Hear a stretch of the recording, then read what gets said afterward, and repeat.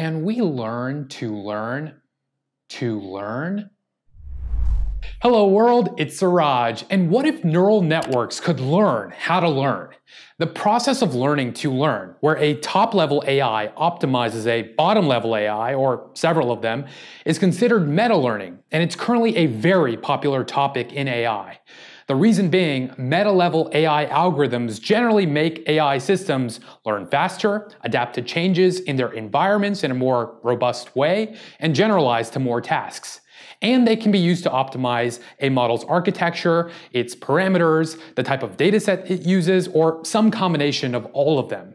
If we look at the literature, there are some pretty hilariously named meta-learning papers that demonstrate these techniques, like learning to learn by gradient descent, by gradient descent. Gotta love it.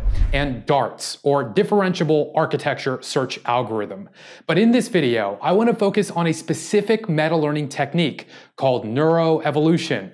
This is the process of using what's called an evolutionary algorithm to learn neural architectures. The reason this technique piqued my interest is because just this year, Google published some research detailing their effort at using an evolutionary algorithm to learn the architecture of a neural image classifier, and it ended up becoming the state of the art, which was somewhat surprising to many in the research community since evolutionary algorithms haven't shown nearly as much promise for real world use cases as supervised and unsupervised methods have so far. And don't forget brute forcing.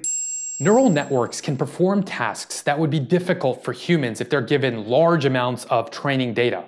But discovering the optimal architectures for these networks is non-trivial and takes researchers a lot of trial and error. Image classification is a well-known problem in the community, as deep learning researchers established the state-of-the-art a couple years ago. Researchers worked hard on developing newer architectures that progressively brought the state-of-the-art to newer levels year after year. Ambitiously, Google decided to try an evolutionary algorithm to try to learn what a neural architecture would look like for image classification instead of hand designing it, and it outperformed the rest. And it wasn't just Google. Neuroevolutionary strategies have started to see more adoption as popular tech companies like Uber have started adopting them to help improve the performance of their products. Uber's dispatch algorithm has to analyze thousands of features in real time to generate more than 30 million rider-driver match pair predictions per minute, and neuroevolution helps them speed up this crucial process. They've got a great blog post on this as well that lists several examples. So why apply evolution to neural network design? Well, to quote the contemporary poet Marshall Mathers, we ain't nothing but mammals, and nature demonstrates this. When the evolutionary biologist Charles Darwin visited the Galapagos Islands decades ago, he noticed that some birds appeared to have evolved from a single ancestral flock. They shared common features, but were characterized by their unique beak forms, which sprung from their unique DNA. We can think of DNA as a meta-level construct. It's a blueprint that guides the replication of cells, a long-term memory store that captures instructions necessary to recreate biological systems that transcend their death. His hypothesis was that the isolation of each species to a different island caused this diversity, Eventually, he turned this hypothesis into his now famous theory of natural selection. This process is algorithmic, and we can simulate it on silicon processors by creating evolutionary algorithms. An evolutionary algorithm creates a population of randomly generated members. Each of these members are represented by some algorithm. It could be any kind, not just a machine learning algorithm. Even blockchain? No. Then it will give each member a score based on an objective function. This score is called the fitness function. It's a measure of how well a member did in relation to the goal. Once all members are scored, the algorithm will select the highest scoring members by some predefined threshold and breed them to produce more members like them. Breeding involves some interpolation of each member's features that is application specific in addition to breeding, will mutate some members randomly to attempt to find even better candidates. The rest of the members die off in a very Darwinian survival of the fittest way. This process repeats for as many iterations as necessary. Actually, in this context, we'd call them generations, as we define. At the end, the idea is that we'll be left with the very best possible members of a population. These steps are all inspired by Darwin's theory of natural selection. We can think of them as optimizers, searching the possible space of solutions for the right one.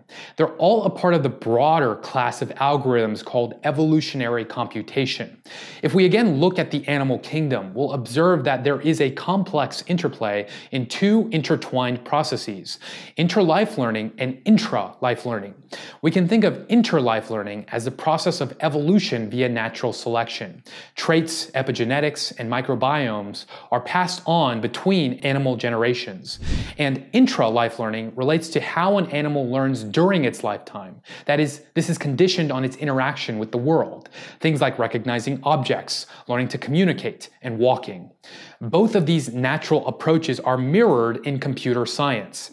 Evolutionary algorithms can be considered inter-life learning, whereas neural networks can be thought of as intra-life learning, or any gradient-based optimization strategy really, where specific experiences results in an update in behavior. So how do we perform neuroevolution using both of these processes to complete a goal?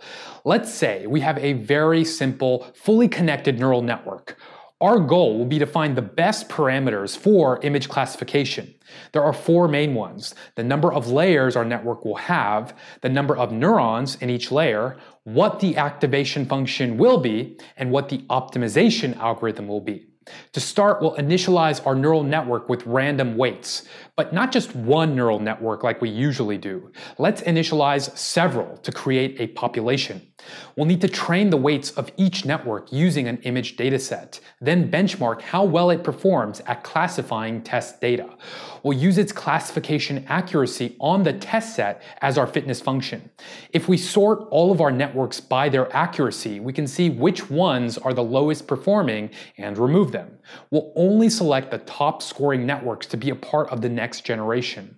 We'll also select a few of the lower scoring networks since it could potentially result in us not getting stuck in a local maximum as we optimize. We can also randomly mutate some of our network parameters as well. Both of these methods are like an evolutionary way of preventing overfitting.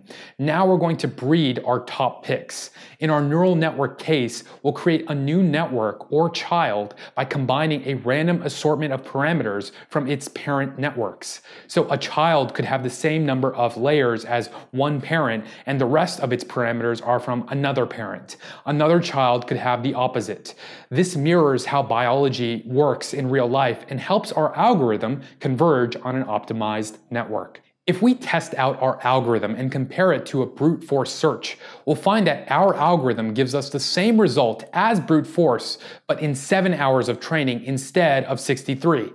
As the parameter complexity of the network increases, evolutionary algorithms provide exponential speedups. Google did this as well, but with lots more data and computing power.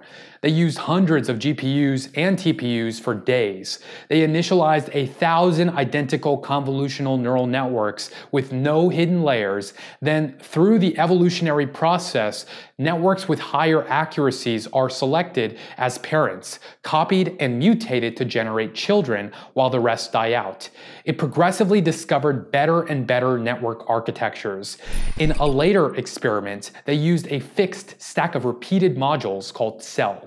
The number of cells stayed the same, but the architecture of each cell mutated over time. They also decided to use a specific form of regularization to improve the network's accuracy. Instead of letting the lowest scoring networks die, they removed the oldest ones regardless of how well they scored. And it ended up improving the accuracy because their networks didn't utilize weight inheritance and they all needed to train from scratch. This technique selects for networks that remain accurate when they are retrained, so only architectures that remain accurate through each generation survive in the long run, which means we'll get networks that retrain really well. They call their model AmoebaNet, and it's the new state of the art in image classification. So what have we learned here? Meta-learning is the process of learning to learn, where an AI optimizes one or several other AIs. Evolutionary algorithms use concepts from the evolutionary process, like mutation and natural selection, to solve complex problems. And a meta-learning technique called neuroevolution uses evolutionary algorithms to optimize neural networks specifically. Please subscribe for more programming videos, and for now, I've got to find a gradient, so thanks for watching.